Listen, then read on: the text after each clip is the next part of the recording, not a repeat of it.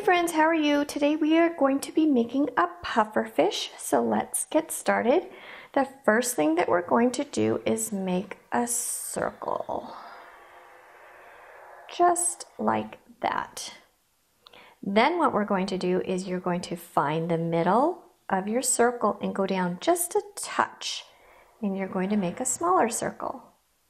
Inside that smaller circle, you're going to make an even smaller circle.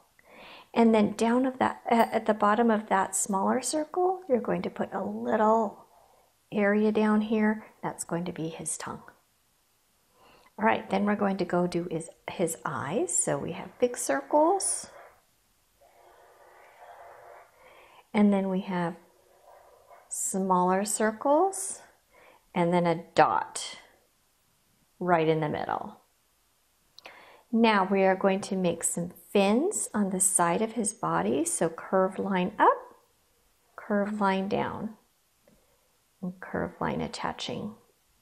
Curved line up, curved line down, and attach. Now what he needs to make him a pufferfish is he needs to have his spikes. So all over his body going different ways, you can start making his spines. And this is what protects him from predators in the ocean. You can put a lot or you can put a few. It's totally up to you.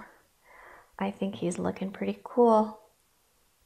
Maybe I'll even put a few lines over here on his fins.